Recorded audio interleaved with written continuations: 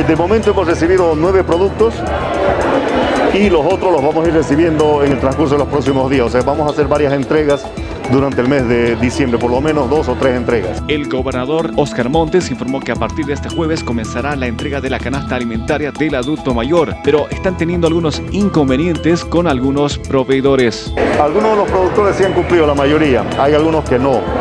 Hoy en la mañana la señora del azúcar creo que llamó y dijo que no iba a poder cumplir Así que vamos a ver qué trato le damos, ¿no? Pero nosotros vamos a ser serios. Nosotros vamos a cumplir y queremos que ellos también cumplan. Sin embargo, ya se tiene todo listo para esta primera entrega con los puntos y horarios ya definidos. En horario como está previsto, en horario continuo, de 8 de la mañana a 4 de la tarde.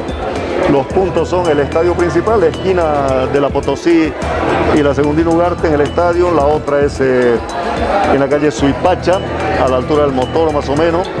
Y la tercera es en, eh, el Senac, allá, el SEDAC más bien, allá eh, al lado del mercado campesino sobre la calle Comercio.